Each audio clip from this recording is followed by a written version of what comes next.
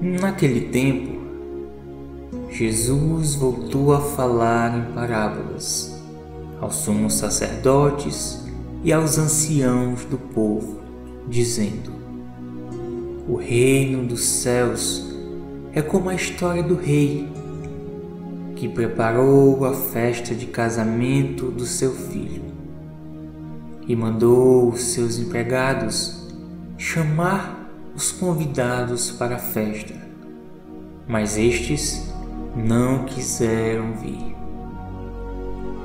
O rei mandou outros empregados, dizendo: Dizei aos convidados: Já preparei o banquete, os bois e os animais cevados já foram abatidos e tudo está pronto. Vinde para a festa mas os convidados não deram a menor atenção.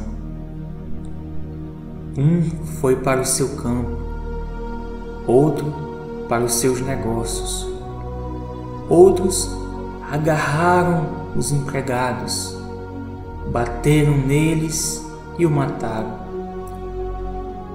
O rei ficou indignado e mandou suas tropas para matar aqueles assassinos e incendiar a cidade deles.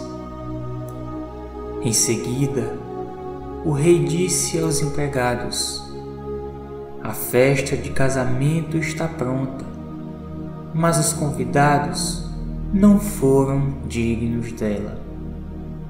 Portanto, ide às encruzilhadas dos caminhos e convidai para a festa todos o que encontrardes. Então os empregados saíram pelos caminhos e reuniram todos os que encontraram, maus e bons. E a sala da festa ficou cheia de convidados.